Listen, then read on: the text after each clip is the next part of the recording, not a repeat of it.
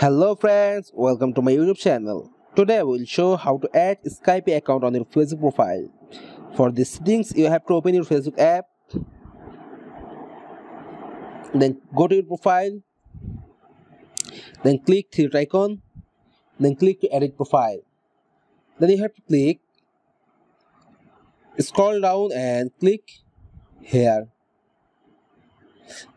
After clicking here, then you have to click add social link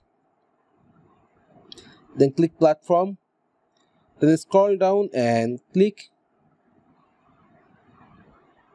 Skype then click, write your username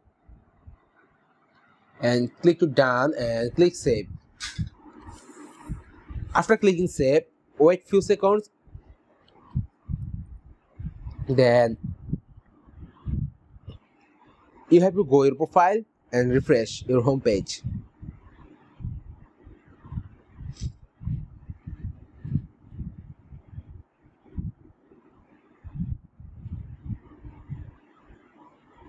then go to your profile and refresh. Then see guys your skype account has been added to your profile. Friends if this video helpful to you please like comment share and subscribe to my youtube channel I will come with another new exciting video. Till then, take care. Bye bye.